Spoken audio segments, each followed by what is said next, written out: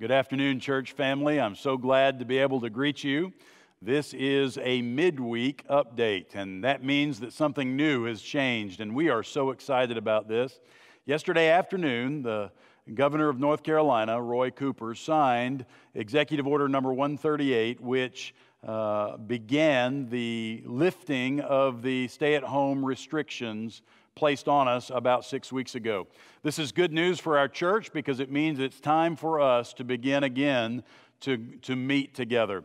Uh, we're going to do it slowly, but uh, uh, and, according to his uh, instructions, but we are excited about that opportunity.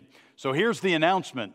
This coming Sunday morning, we are going to have several opportunities for you to worship. The first one is at 9 o'clock in the morning. Uh, we will meet in front of our church building that is on the Branchview side with the steps. Uh, we will have it set up so that uh, you have two choices if you were to come to that meeting. Uh, so, 9 o'clock, we'll gather. Uh, there will be seats set up uh, on, the, on that first row of uh, of parking, and so you can take your seat. They'll be appropriately distanced. We ask that, um, that you uh, come and maintain those kinds of social distancing. Also, we recommend that you wear something comfortable, something warm, because it'll be a cool morning, uh, something comfortable, something warm, and also sunglasses, because you might need them.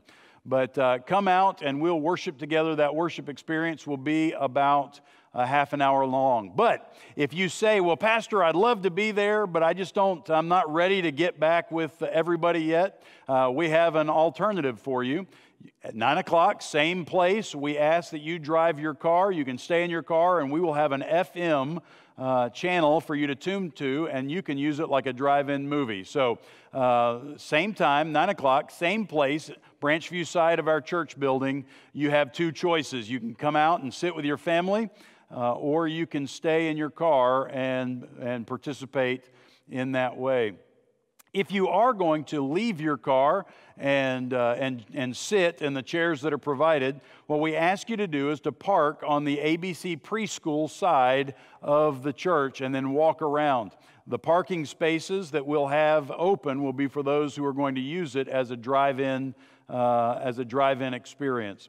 But this is great news. We finally get to be together, and, uh, and we will do that. That service will be a shorter service. It'll be somewhere between 30 minutes and 45 minutes. If you've ever been to one of our Easter sunrise services, imagine that. That's going to be what it's kind of going to be like.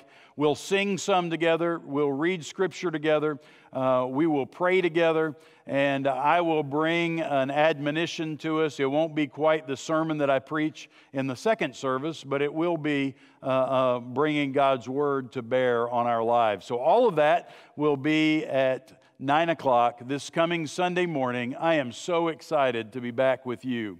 Uh, at 1045, we will have our typical live stream service from within the sanctuary.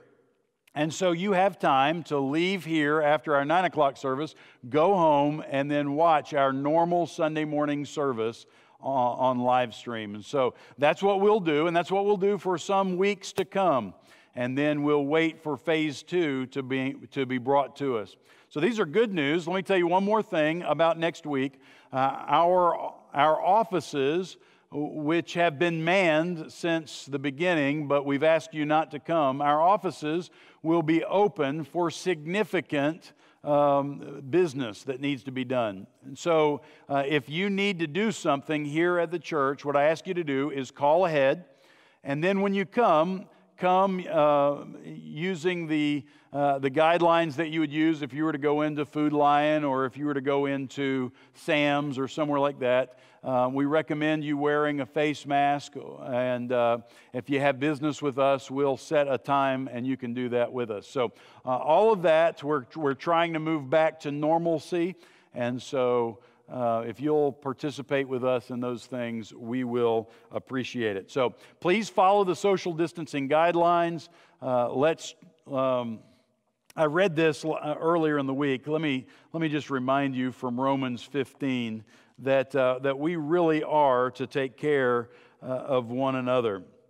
So it says this each of us is to please his neighbor for his good, that is your neighbor's good, to his edification. Uh, and then, um, so let's do this. Let's, let's uh, act in such a way that we are caring for others. I know that right now we're in a kind of a turbulent time. Uh, it's divided by those who are wanting to distance themselves and those who are thinking that we ought not to. Uh, let me just encourage you that for the love of your neighbor, to love your neighbor as you love yourself, let's, uh, let's protect the most vulnerable. So, all of that, that's good news. Uh, I can't wait to see you Sunday morning. God bless you. Have a great day.